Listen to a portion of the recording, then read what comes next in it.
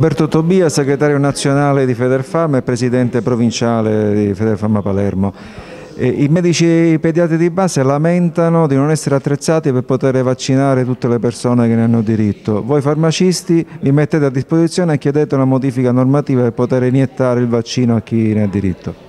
Noi abbiamo messo a disposizione la nostra rete nazionale di 19.000 farmacie che sono un presidio fondamentale e indispensabile del territorio per poter inoculare il vaccino in supporto all'attività del medico di medicina generale. Per eh, ottenere questo però è importante che venga eh, attuata una, un cambio normativo che è fermo al Regio Decreto del 1934 che impedisce al farmacista di inoculare il vaccino in farmacia. È chiaro che eh, non vogliamo sostituirci a nessuno, è una, un atto di integrazione, un momento importante nel quale il Paese deve affrontare un'emergenza e come è successo in Francia, un momento qualche giorno fa, eh, dove eh, le farmacie è possibile, per, le, per i farmacisti in farmacia è possibile inoculare il vaccino, ci auguriamo che anche questo possa succedere in Italia, come del resto succede in 14 paesi su 28 in Europa, in UK piuttosto che negli Stati Uniti dove il farmacista è abilitato dalla legge a effettuare il vaccino antinfluenzale presso la propria farmacia.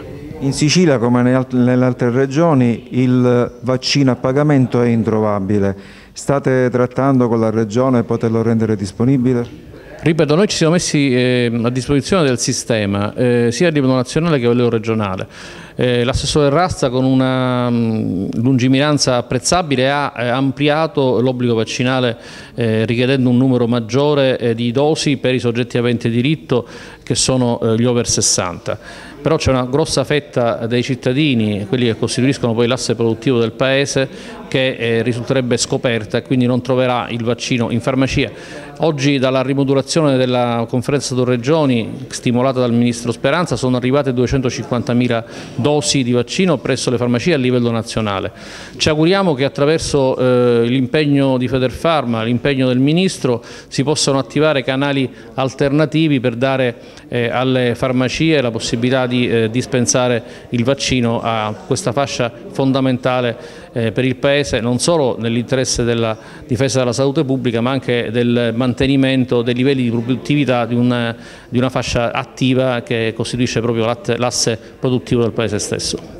Beh, eh, adesso dire che adesso siamo in ritardo eh, è presto per dire che siamo in ritardo. Il problema è che mancano, nel senso che eh, essendo stato tutto il quantitativo prodotto dalle aziende destinate al mercato italiano eh, assorbito dagli acquisti delle gare regionali, manca eh, il vaccino per eh, vaccinare le categorie attive, quelle che non rientrano nei piani vaccinali, cioè le persone con meno di 60 anni e che quest'anno in numero sicuramente superiore agli altri anni, come raccomandato da tutti eh, gli scienziati, vorrebbero vaccinarsi in numero maggiore.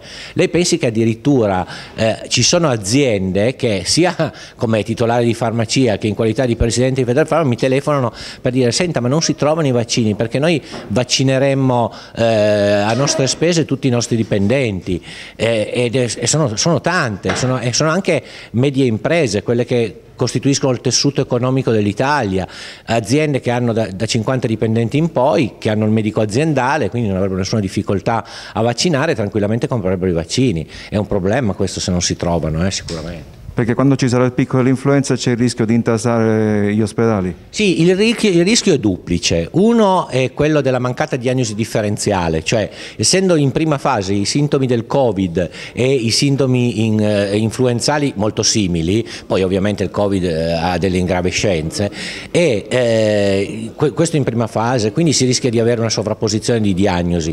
E in secondo luogo, certamente, siccome anche l'influenza purtroppo dà delle complicanze, se si, eh, si va ad instasare gli ospedali con le complicanze dell'influenza ci saranno meno spazi liberi per eventuali malattie di Covid, è intuitivo. Eh. Ma di che numeri si parla riguardo alla mancanza di vaccini? Guardi, secondo me manca un milione e mezzo di vaccini. Eh, lei diceva che ci vuole del tempo perché il vaccino diventi attivo, quindi si rischia di arrivare dopo il picco? Beh, è noto che il vaccino, il vaccino, ci mette 15 giorni più o meno a indurre le difese immunitarie, eh, poi ci sono dei vaccini, eh, diciamo, chiamiamoli più forti per far capire meglio a chi ci ascolta, che sono i vaccini adjuvati, che vengono utilizzati solitamente per le persone più anziane che hanno un sistema immunitario più, più, più fragile. Eh, tenga, eh, tenga, prende sì, 15-20 giorni per avere il picco, poi lei capisce che, quello, che il picco dell'immunitario post vaccino fa una curva curva, una gaussiana, quindi abbiamo un punto di massimo picco che tendenzialmente dopo un mese, un mese e mezzo, poi comincia a scendere, se immaginiamo che la, il picco di difesa dura circa tre mesi. Gianni Petrosillo, presidente di Federfarma Bergamo, è stato considerato il farmacista eroe perché anche dalla terapia intensiva ha continuato a coordinare l'apertura delle farmacie nelle zone rosse.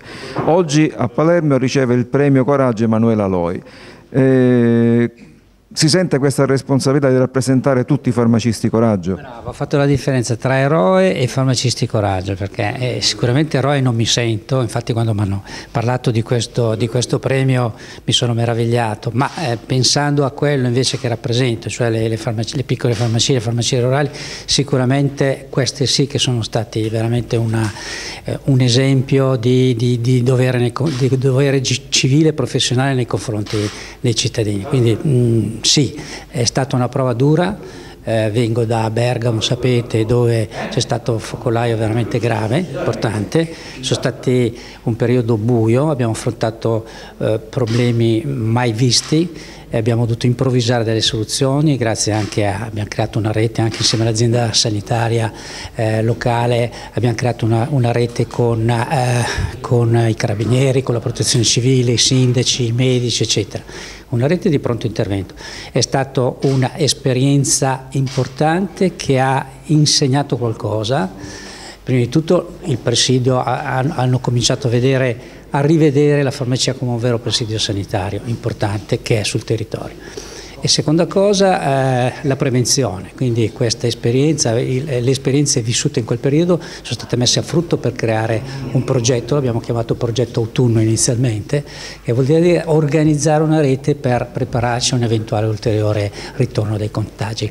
Questa iniziativa bergamasca è stata talmente importante che poi è stata assunta a livello regionale, quindi ora è stata proposta a livello regionale a tutte le aziende sanitarie. Una rete di protezione pronta per intervenire. Per i farmaci... Rifazione delle farmacie viste di... Arrivederci, grazie. Se non sento dire di avere le raffigurazioni che abbiamo avuto. Cioè stiamo parlando se sono un milione e mezzo le dosi soggetti a rischio sono Grazie. In questo momento deficitaria. Io, io ho parlato con un po' di farmacisti qui in giro, insomma sono tutti nella stessa non abbiamo, non abbiamo non abbiamo certezza sul fatto che tecnicamente inizia il 5 ottobre, domani sì. quando non è difficile utilizzare come 5 ottobre. Se arriva un ragazzo di 30 anni